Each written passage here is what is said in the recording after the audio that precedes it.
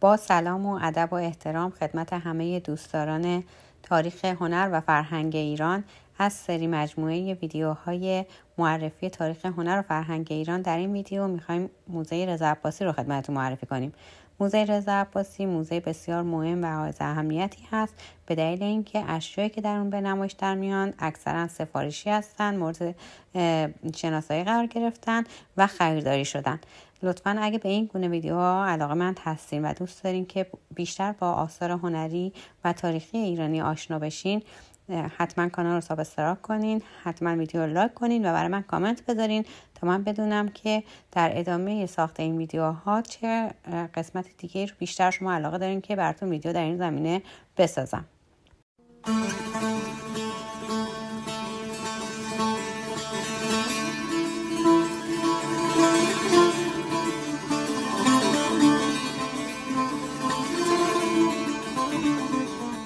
با سلام و درود به ویژه هنرمندان و علاقمندان به تاریخ فرهنگ و هنر ایرانی. من دکتر پردیس بهمنی هستم و تخصصم مبانی طراحی اشیاء کهن ایرانی هست. در این برنامه می‌خوایم به معرفی موزه رضا عباسی در ایران بپردازیم. این موزه به دلیل قابلیت های خاص و ویژه‌ای که داره یکی از بهترین و ویژه ترین موزه هایی هست که در ایران قرار داره و برخی از آثار اون شهرت جهانی دارن. در واقع یکی از غنیترین مجموعه های تاریخ فرهنگی کشور که آثاری از دو هزار سال قبل از میلاد تا اوایل قرن بیستم و دوره قاجار رو در اختیار داره موزه رضا عباسیه. در این موزه حدود پنجاه هزار شی نگهداری میشه. البته در تالارهای موزه فقط امکان نمایش حدود 700 اثر وجود داره که معمولا به صورت دوره‌ای این آثار جابجا میشن تا در معرض دید عموم قرار بگیرن و همچنین نمایشگاه های دوره‌ای و موقت امکان نمایش آثار بیشتری رو فراهم می‌کنه. در واقع این موزه در خیابان شریعتی و کمی پایین تر از پل سید خندان قرار داره که در سال 1356 به همت فرع پهلوی گشایش پیدا کرد و به یاد نقاش مشهور دوره صفویه و اهل کاشان رضا عباسی نامگذاری شد. ساختمون این موزه در اصل یک نمایشگاه مبلمان و دکوراسیون بود اما به دلیل ویژگی های خوب معماری و البته قرار محل قرارگیری خوبی که پل سیدخندان برای دسترسی های ایجاد می کرد مورد توجه مسئولین قرار گرفت. مدیریت سالهای اولیه اون به عهده آیدین آقداشلو بود اما به دلیل برخی از شرایط مختلف اجتماعی تا سال 59 چند بار تعطیل و بازگشایی مجدد شد. ساختمون این موزه سه طبقه است و بازدید رو خیلی بهتری که از طبقه بالا شروع کرد.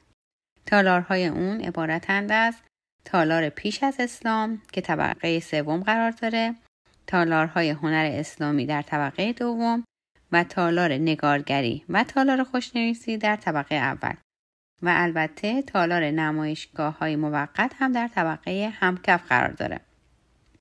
برای معرفی این تالارها از همون طبقه سوم و تالار هنرهای پیش از اسلامی شروع می‌کنیم. در واقع این موزه آثاری رو از دوره های مقبل تاریخ به نمایش می‌ذاره.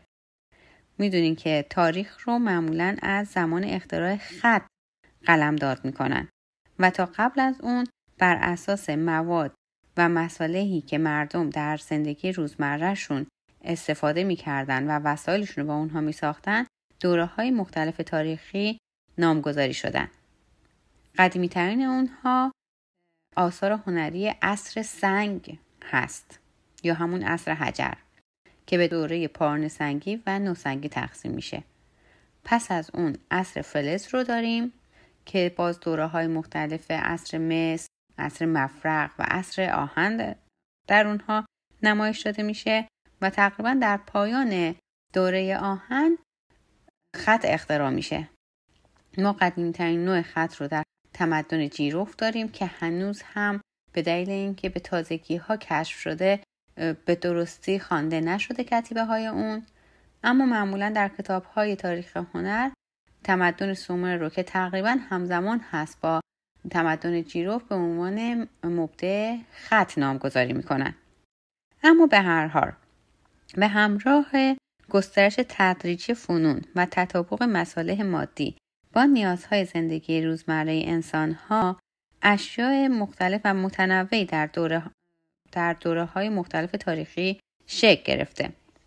مفرق های لورستان، جام های مالی و انواع ریتون های سفالی و فلزی از دوره های قبل از تاریخ و همچنین آثاری از دوره های تاریخی هخامنشی، اشکانی و ساسانی در این موزه در تالار پیش از اسلام به نمایش در اومدن که برخی از اونها مانند ریتون بز هخامنشی یا جامهای مارلیک یا مفرقهای لورستان شهرت جهانی دارند.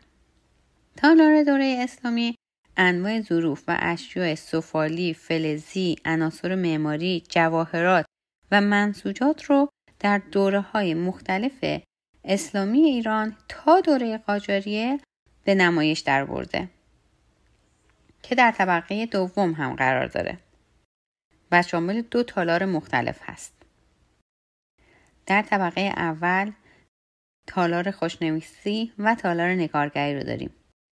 در تالار خوشنویسی که یکی از والاترین بخش های هنر اسلامی محسوب میشه مراحل مختلف تحول خطاطی از میان نوشته های خطوط سلس، محقق، نسق و نستعلیق به نمایش در اومده و همچنین با هنر کتابسازی در این تالار آشنا میشیم.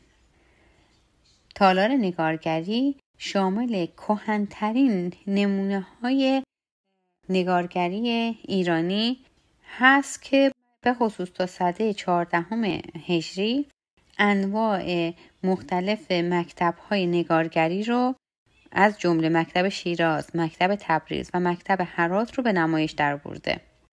کهنترین نمونه این تالار برگی از شاهنامه دمود مربوط به عواست صده هشتم هجری قمریه.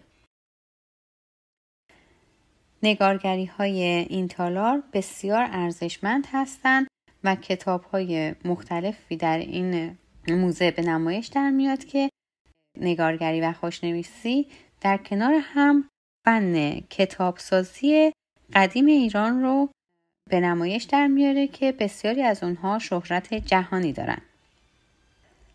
همچنین کتابخانه در طبقه سوم موزه قرار داره که شامل کتاب های بسیار مفید، ارزنده و تخصصی در رابطه با هنر و دوره های مختلف تاریخیه که می‌تونه مورد توجه علاقمندان و محققین در این راستا قرار بگیره.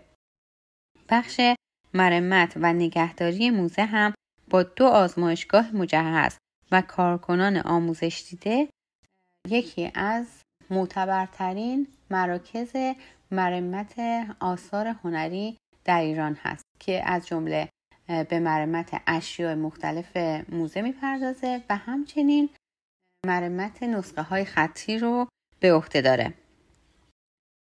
موزه رضا عباسی به دلیل اینکه اشیاء موزه به گونه سفارشی هستند و مورد شناسایی قرار می گرفتن و خریداری می شدن یکی از ارزنده ترین موزه های ایران قلم دارد میشه و مسلما اشیا و آثاری که در اون به نمایش در میان بسیاریشون در سطح جهانی قابلیت ها و ویژگی های خاص و منحصر به فردی دارن. امیدوارم که حتما فرصت کنین و از آثار این موزه دیدن کنین. به صورت حضوری مسلما ارزش های بیشتری خواهد داشت اما خوشبختانه سایت موزه هم سایت خوب و فعالیه. و همچنین در صفحه اینستاگرام هم فعال هستند و کارکنان خوب و تحصیل کرد.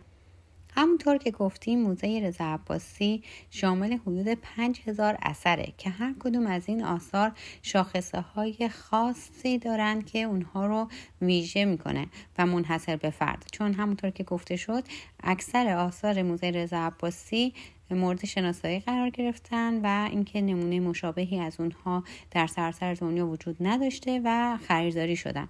و این امر اشیاء موزه رضا عباسی رو خیلی خاص و به قول معروف یونیک می‌کنه که شاید در جای دیگه این آثار رو نتونیم ببینیم. علاوه بر اون هم شاید اینو خصوصیت مشترک خیلی از آثار تاریخی هنر ایران هست که قابلیت های طراحی و مبانی سواد بسری بسیار قوی و خوبی دارن. همونطور که می‌بینید در ادامه این ویدیو من نمونه های زیادی رو از طراحی های خطی که از نقوش آثار هنری به خصوص آثاری که در موزه رضا هست رو براتون جمعآوری کردم این نمونه هست که حتی یک محصول امروزی با توجه به این نقش و فرم ها طراحی شده و بسیاری از این آثار به خصوص آثار دوره اسلامی این موزه در کتاب هایی مثل طرحهای تزئینی برگرفته از ظروف خانگی ایرانی جمعآوری شدن و همچنین کتاب نظریه ماناک بسیاری از آثار دوره قرون اولیه اسلامی رو که در موزه رضا عباسی هم موجود رو تجزیه تحلیل کرده که می‌تونید با مطالعه این کتاب ها هم به مبانی طراحی این اشیا پی ببرید و هم علاوه بر اون طرحها و نقوش تزئینی رو از این اشیاء هنری استخراج کنین که برای طراحی های آینده می‌تونه بسیار مناسب باشه. از جمله طراحی ها می‌تونیم در طراحی آرم طراحی المان های محیطی طراحی عناصر بصری برای سایر هنرهای تجسمی از اونها یاد کنیم. و حتی چیزی که امروزه خیلی می‌تونه جذابیت داشته باشه اینه که از این نقش و فرم ها الهام گرفته بشه و در انیمیشن ها و سینما و کارتون و همه رسانه هایی که امکان پخش دارن و امکان نمایش دارن از این فرم و نقش های سنتی کهن و بسیار زیبا استفاده بشه. همطور که خدمتون گفتم کتاب نظریه ماناک بسیاری از این آثار رو علاوه به البته بر آثار موزه رضا عباسی آثار موزه ملی ایران و موزه آبگینه رو هم به نمایش در آورده. اونها رو تحلیل کرده و به خصوص نقوش اصلی اونها رو و طراحی خطی اونها رو نشون داده که قابلیت های زیادی در طراحی های امروزی می‌تونن داشته باشن. کتاب نظریه ماناک انتشارات جهاد دانشگاهی هست و قابل تهیه و همچنین کتاب طرحهای تزئینی برگرفته از ظروف خانگی جلد یک و دو داره. جلد یکش به اشیاء قرون اولیه اسلامی می‌پردازه و جلد دوش به اشیاء خانگی ایران در قرون پنج تا هشتم می‌پردازه و انتشارات قلم شاملو هست و اون هم قابل تهیه است. مندان می‌تونن کتاب ها رو تهیه کنن و نقش و فرم های بسیار زیبایی که در هنر کهن ایران هست اطلاع داشته باشن.